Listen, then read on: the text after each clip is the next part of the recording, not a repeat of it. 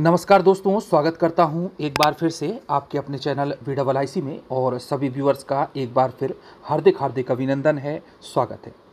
दोस्तों, हम जानते हैं कि मध्य प्रदेश की जो शिक्षा व्यवस्था है, वह काफ़ी हद तक चरमरा चुकी है। लंबे समय से शिक्षक जहाँ पर अपनी ज्वाइनिंग का इंतज़ार कर रहे हैं, वहीं पर गवर्नमेंट, ओबीसी आरक्षण का बहाना बना करके निरंतर उनकी नियुक्ति टालती जा रही है। और अब दोस्तों, इसकी जो भरपाई पूरी करने की योजना गवर्नमेंट की है, वो है अतिथि शिक्षकों की भर्ती से संबंधित।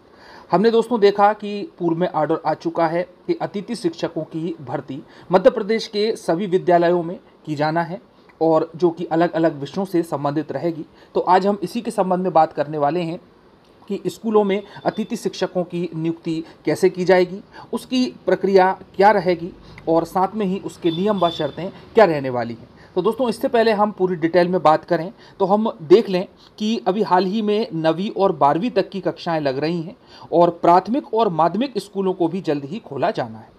जैसा कि आदेश दिया गया है। तो शासन स्तर पर इसकी तैयारियाँ प्रारंभ कर ली गई है और यही वजह है कि जिन प्राथमिक और माध्यमिक स्कूलों में शिक्षक नहीं है, हम जानते हैं दोस्तों कि शिक्षकों की संख्या काफ़ी कम है मध्य प्रदेश में और इस प्रकार से ये भर्ती अब प्रारंभ कर दी गई है। तो इसके लिए संकुल प्राचार्यों को निर्देश दे दिए गए हैं कि ये प्रक्रिया पूरी करके सत्रह सितंबर तक हाल में अतिथि शिक्षकों को ज्वाइन कराया जाए।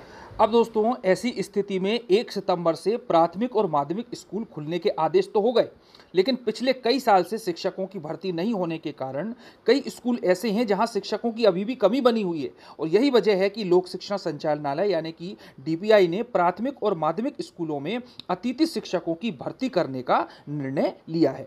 तो विदित हो कि पिछले साल कोरोना के कारण स्कूल बंद रहे और इस प्रकार से भर्ती की प्रक्रिया जो है, वह नहीं हो पाई। और अब जो है फिर से स्टार्ट कर दी गई है अतिथि शिक्षकों की भर्ती प्रक्रिया। तो अब आइए जानते हैं कि इस भर्ती में किस प्रकार से शिक्षकों को लिया जाना है। तो दोस्तों, सबसे पहली शर्त इसमें यह है कि जो पूर्व में कार्यरत शिक्षक हैं, उनको ही वरीयता दी जाएगी, यानी कि उनको प्रेफरेंस दिया जाएगा। तो अतिथि शिक्षकों की भर्ती में पूर्व में विद्यालय में पढ़ा चुके शिक्षकों को ही वरीयता दी जाने का प्रावधान किया गया है। प्राचार्यों को सबसे पहले ऐसे शिक्षकों को ही आमंत्रित करना होगा। यदि ऐसे शिक्षक अब उस विद्यालय में पढ़ाने के इच्छुक नहीं है तो विद्यालय प्रमुख को उनसे असहमति लिखित में लेना होगी। तो दोस्तों, रिटर्न में ये असहमति देना होगी कि अब हम यहाँ पर पढ़ाने के लिए इच्छुक नहीं हैं। चलिए, अब जो प्रोसेस रहेगी, उसके बारे में हम बात कर लेते हैं कि क्या प्रोसेस रहने वाली है। तो दोस्तों 31 अगस्त तक आमंत्रण मंगाए गए थे, आवेदन मंगाए गए थे और ये एजुकेशन पोर्टल पर सभी ने प्रक्रिया पूरी कर ली होगी। तो आइए बढ़ते हैं अगली स्टेप की ओर कि अब आगे क्या होगा। तो दोस्तों, आवेदन के बाद में बरीता क्रम देखा जाएगा, यानी मेरिट लिस्ट देखी जाएगी और उसके आधार पर शिक्षक की असहमति पर एक सितंबर तक उससे लिखित में लेकर अभिलेख संधारित करना है। जैसा मैंने बताया कि जो इच्छुक नहीं है तो उनसे लिखित में आवेदन लिया जाएगा कि अब हम यहाँ पर कार्य करने के इच्छुक नहीं है अतिथि शिक्षक के रूप में। उसके बाद में अगली स्टेप रहेगी कि पोर्टल से मेरिट सूची डाउनलोड कर वरीयता क्रम में अगले अतिथि शिक्षक को विद्यालय में आमंत्रित करना, और ये होगा दो सितंबर तक। क्लियर।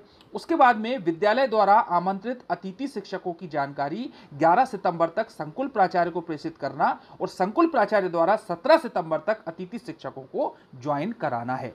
तो दोस्तों, ये बिल्कुल एक कंप्लीट प्रोसीजर चल रही है, जिसमें कि अंततः 17 सितंबर 2021 तक अतिथि शिक्षक जो कि प्राथमिक विद्यालय, माध्यमिक विद्यालय और अपने विषयों से संबंधित हैं तो उनकी ज्वाइनिंग करवा ली जाएगी। और दोस्तों, जहाँ तक चयनित शिक्षकों का सवाल है तो ये डिपेंड करेगा कि ओबीसी आरक्षण का केस क्या निकल करके आता है, उसी के हिसाब से आगे कार्यवाही की जाएगी। तो दोस्तों, ये एक जानकारी थी, और मिलते हैं अगले वीडियो में। धन्यवाद। जय हिंद, जय भारत।